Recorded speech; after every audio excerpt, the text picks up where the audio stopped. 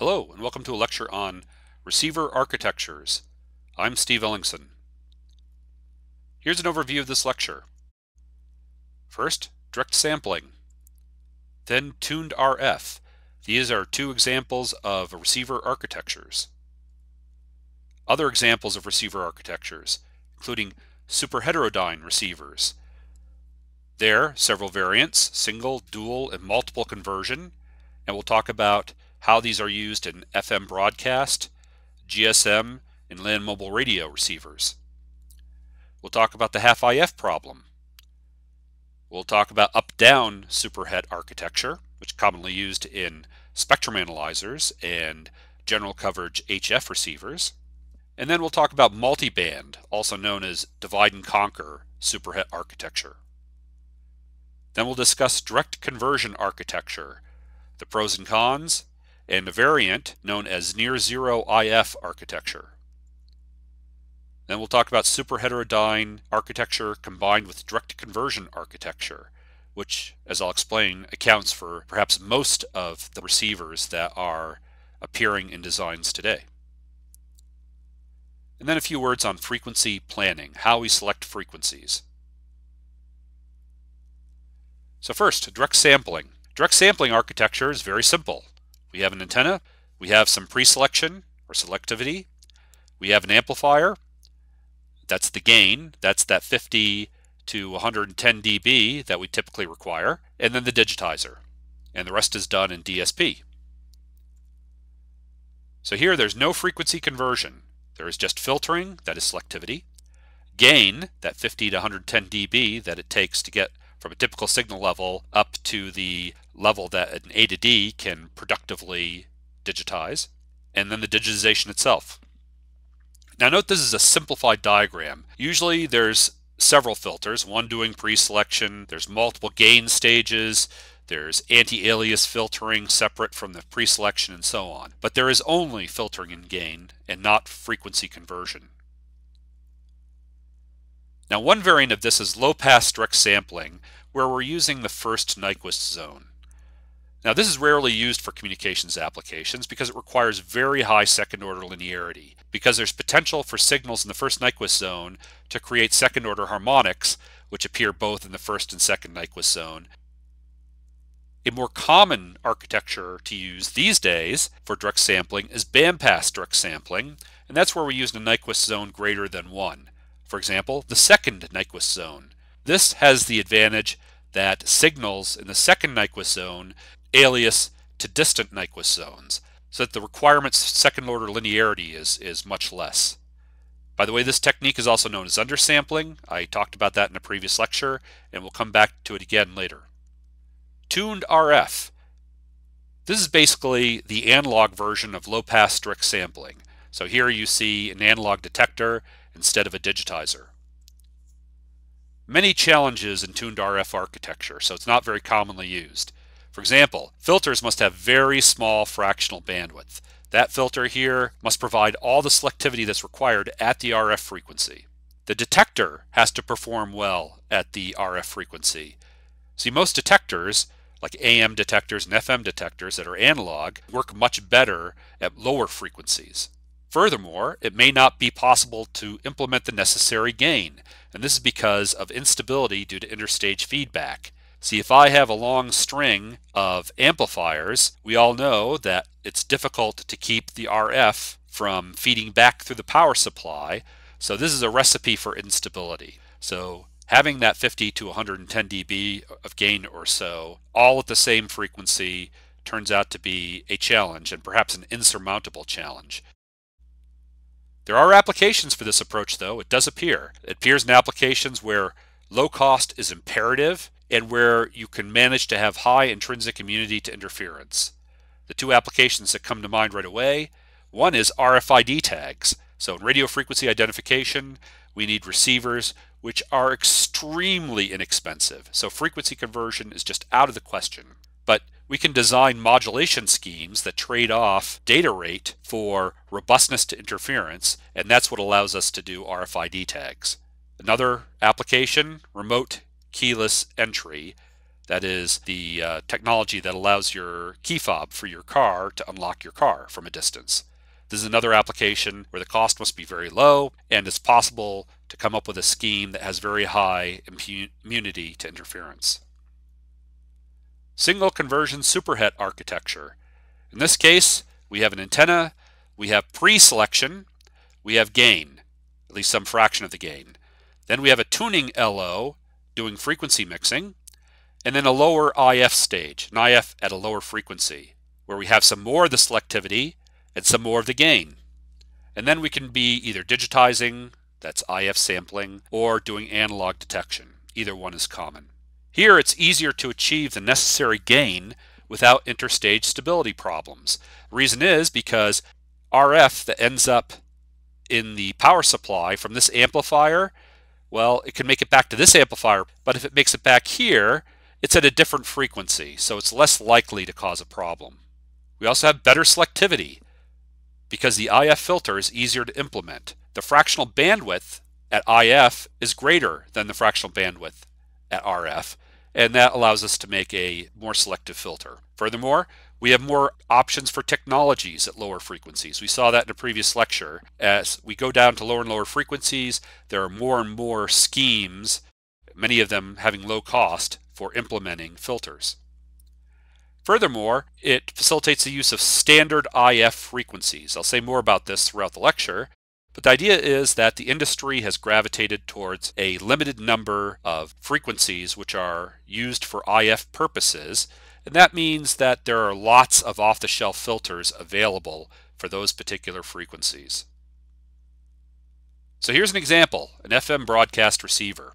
FM broadcast exists at frequencies from 87.5 to 107.9 megahertz.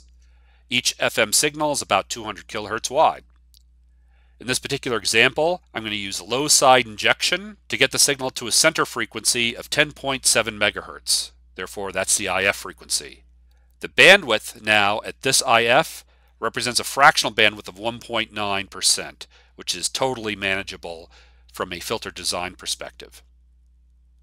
The LO tuning range, since we're using low side injection, is from 76.8 to 97.2 megahertz. The image band goes from 66.1 to 86.5 megahertz. Those are determined in the usual way, that is RF minus twice the LO frequency, that is for low side injection.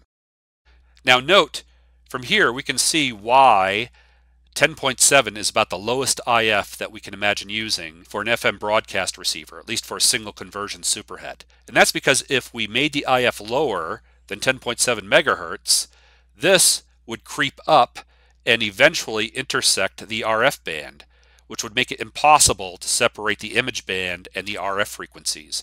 And we know that there's no way that we can eliminate an image after frequency conversion. So because 10.7 is the lowest frequency, which is practical for a single conversion superhet uh, for FM broadcast applications, and because FM broadcast is so common, 10.7 megahertz is a very common IF frequency for all applications. The half IF problem. This is characteristic of all superhet architectures. The idea is this. Let's imagine we're doing low side injection. The problem also exists for high side injection but we'll talk about low side injection first.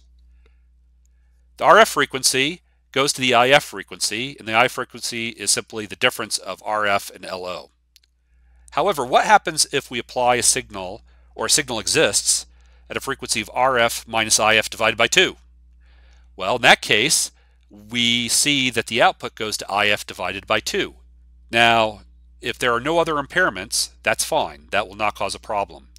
However, if we have limited second order linearity, then we will get a second harmonic associated with that signal, and the second harmonic ends up at the IF frequency.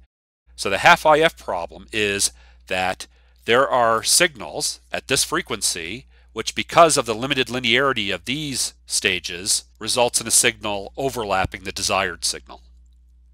So this is dangerous because it may be too hard to get RF minus IF divided by 2 adequately rejected by preselection.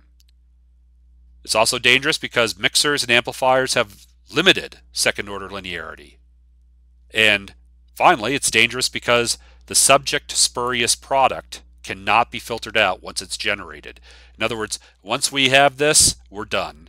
It's going to be uh, in the output. There's no way we can discriminate between those two. This is yet another reason why we like differential implementations, especially IF and baseband. If this is differential, then and we know that differential has intrinsically better second order linearity, then we're less vulnerable to this problem. So you see frequently that the first stages in, in a receiver are single-ended, and then the later stages are differential, and this is one reason why. So here's an example of the half IF problem affecting a broadcast receiver. Same receiver we talked about in the previous example, taking this tuning range, putting one of those 200 kilohertz signals at 10.7 megahertz using low side injection. Well, from the equation we just worked out, the half IF frequencies are in this range. Note here that it is impossible to filter all the frequencies vulnerable to the half IF problem by fixed preselection. Possible remedies, again, make sure you have adequate second order linearity at the IF stage, or increase the IF center frequency, because if the IF center frequency goes up, then these frequencies will go down. So this is strong incentive to use higher IF frequencies. With this in mind, we come up with a dual conversion superhet architecture. So in dual conversion, we have two frequency conversions, two IFs. The first IF we land at using a tuning LO. So this much looks very similar to a single conversion superhet. But then we do one more conversion to get to the final output frequency, and that can be done with a fixed LO. This makes it even easier to achieve the necessary gain without interstage stability problems. Why? Because now we have three stages over which to distribute the gain that we need. We've got a higher first IF, so this IF can be higher than the IF that we would need for a single conversion superhet, and that facilitates larger tuning range and it's easier to manage the half IF problem that I just talked about. And then finally, because we have a lower final IF, we have larger fractional bandwidth for this filter, and that means better selectivity, or at least the potential for that. So here's an example of an FM broadcast receiver using dual conversion. The first IF, we could go to 10.7 megahertz. The second conversion, we could go to 455 kilohertz, which is a fairly common final IF for a dual conversion superhet. Note the first LO tunes, the second LO is fixed. Either LO may be low side or high side. However, I'll tell you if you do both high side, you've got a huge advantage in that you get all the advantages of high side injection, which I've talked about in a previous lecture, and the spectrum comes out facing the right direction because this gives you a spectral reversal and this gives you a spectral reversal. So the output signal is correctly oriented. And then if I really had a big issue with half IF problems, I could increase this frequency, leave this the same or increase it, uh, and thereby adjust the requirements that I have for these preselection filters and for this filter. Now, contraindications for this approach, why we might not want to do it? Well, it's starting to get expensive now because we have more parts and we have two LOs. In fact, that second LO is going to account for a big chunk of power consumption because LOs ordinarily account for a large fraction of the power consumed by a receiver. Here's yet another example, a GSM base station receiver. GSM is a cellular protocol becoming less common these days, but still appears in a big chunk of the world. Let's say we have this frequency range and we want to produce a signal here. Well, one way to do this is to go to an IF of 240 megahertz and then to an IF of 10.7 megahertz. That puts image frequencies in the range 389 to 414 megahertz. And this scheme is very commonly implemented. So this is a very common scheme for moving this range of frequencies to a digitizer with a center frequency of 10.7 megahertz. In fact, I can think of many base station receiver designs I've seen that use exactly this scheme. Another common version of this design uses a third conversion to go to 455 kilohertz to further improve selectivity. So very, very high performance GSM receiver might have three conversions 240, then 10.7, and then 455 kilohertz. Again, to spread all that gain out uh, over four different stages and to achieve the best possible management of all the uh, spurious products that might result. Now, up-down architecture. In up-down architecture, the first IF is above the tuning range, and the second IF is below the tuning range. This is appropriate when the tuning range must be very, very large, at least on a fractional bandwidth basis. So for example, HF general coverage receivers, this is a receiver which goes from 3 to 30 megahertz, requires up-down architecture because there's no way to tune from 3 to 30 to some IF below 3 megahertz without a conflict in preselection or image rejection. Similarly, spectrum analyzers use up-down conversion. Multi-band receivers are fairly common. Let me show you an example of multi-band receiver architecture that might appear in land mobile radio. In land mobile radio, there are actually several bands which are commonly used, and in some applications, such as police communications and government communications, you have to be able to operate on both bands. So let's say you have to operate on 138 to 174 megahertz and also 406 to 512 megahertz. Well, to have one receiver that does both using the same architecture can result in reduced performance. So what you can do instead is divide and conquer. So for example, 138 to 174, you could convert to 10.7 using a tuning LO covering this range. And to cover the higher frequency band, you could first go to 70 megahertz using this LO tuning range. And then by mixing with a fixed frequency of 59.3, end up at 10.7 megahertz. And then you here you just select one of the two. From there, then you could go to 455 kilohertz. So that's an example of a divide and conquer architecture. Direct conversion architecture. In this case, we have an RF section and we use quadrature down conversion, as we've discussed in a previous lecture, to obtain I and Q, which is then digitized. The advantages of this technique are very large tuning range. We're not impeded by the limitations of a super heterodyne architecture. There's no image band, because there's no IF. The minimum IF frequency is achieved. That is a frequency of zero. It's low cost, low power. These are all great features of the direct conversion architecture. However, there are also many disadvantages, and this tends to keep direct conversion from showing up in all but applications in which cost and power must be absolutely minimized. So here are the contraindications for direct conversion.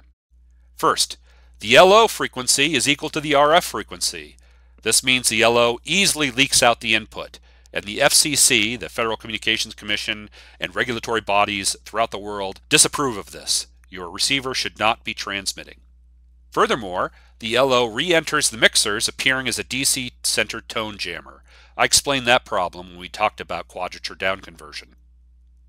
Next, Direct conversion is critically dependent on IQ balance, that is gain and phase balance, and the performance of the quadrature LO generator, which needs to produce very precisely signals which are 90 degrees out of phase.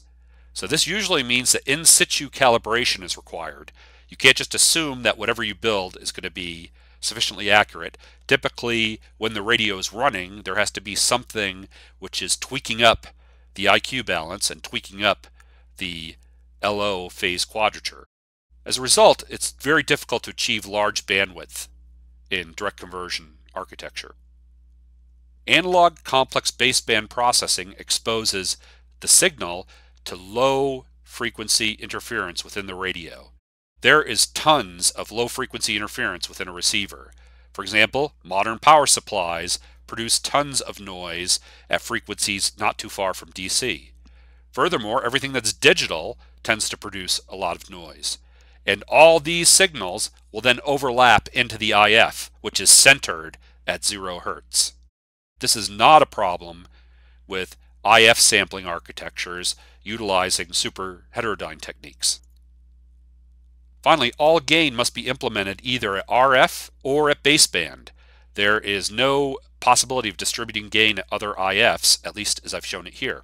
That means baseband gain, the gain at the IQ stage, must be implemented with extraordinarily high second order linearity. So this is perhaps the biggest problem of all for direct conversion. Now, having said that, the popularity of direct conversion is actually increasing as uh, the years roll on. One reason is, is that this issue with IQ balance is becoming increasingly easy to address using CMOS RFIC implementations. See, CMOS is the same stuff that people make computer circuits and DSP out of. So if you can put the RF on the same chip as a bunch of DSP, then the process of doing this calibration can be made a lot simpler and a lot more accurate, and also done more cheaply. Then these two problems are addressed by sound differential design. Because remember, differential design has intrinsically good common mode rejection performance, and good differential design has intrinsically good second order linearity. And these days we are getting better and better, that is, the community is getting better and better at differential design of these types of circuits. Now, modification to the direct conversion approach is near zero IF architecture. If you look at this, it looks very similar to direct conversion. The difference is that the RF is offset from the LO by about half the bandwidth. So instead of going from RF directly to DC, instead you put the signal here, just above DC. So all the problems that we have around DC, including the LO tone jammer, are down here, whereas most of the signals up here. So that's a near zero IF architecture. And this has a lot of advantages, especially since these days it's not much difficulty here to do that final shift of the signal to zero IF using DSP. So this is commonly used scheme in many cell phones, many base station receivers, and all kinds of receivers. However, I should point out that this also increases the minimum required bandwidth and sample rate. Because here in the direct conversion architecture as classically implemented, the signal can be digitized using the lowest possible sample rate. Whereas here, the signal has to be sampled with a slightly higher sample rate. So fs by 2 is here, fs by 2 is here. So fs by 2 for near zero IF architecture is somewhat higher. Finally, let me show you a scheme that combines all the advantages of superheterodyne architecture and all the advantages of direct conversion architecture and that's superhet plus quadrature conversion. And the idea is exactly what the name suggests. We have a superhet that goes to some IF, and then we do direct conversion from the IF. This combines all the advantages of superhet architecture with direct conversion architecture. Also mitigates many of the disadvantages of the two architectures. And finally, I should point out here, I'm showing superhet architecture with just one frequency conversion, but in fact, there could be any number of frequency conversions there. It could be up, down, and so on. The idea here is simply to combine superhet for the first few stages with a direct conversion for the final stage. And again, this is nearly ubiquitous in some applications. For example, mobile cellular handset receivers, wireless LAN, lots of applications. This uh, architecture is uh, used. Finally, frequency planning. Frequency planning is the process of selecting IF center frequencies and injection modes. In other words, where we're going to do low side injection versus high side injection. As we've seen, these choices have implications for pre-selection, for image rejection, and for post-mixer spurious filtering. And these frequencies and the expected levels of key spurious signals are determined using this process of frequency planning and used to set specifications for filters and linearity specifications. So here we see all these things coming together and we see that they're related. Bandwidth, linearity, uh, frequency plan, all these things are requirements which interact with each other and have to be traded off. Frequency planning can become very challenging for receivers operating in crowded spectrum, which these days is most of the spectrum especially when multiple conversions are required. So frequency planning for multiple conversion superhet receivers can become very complicated. Certain standard IF frequencies are preferred so as to benefit from off-the-shelf filter designs. I've said this before, but we see once again that there's a huge advantage in terms of the process of design in having standard IFs. So the two common ones I've shown several times now are 10.7 megahertz, 455 kilohertz. Other common IFs include 45 megahertz, 70 megahertz, 140 megahertz, and there are a few other common IF frequencies which are a little bit more application specific. This concludes this lecture on receiver architectures.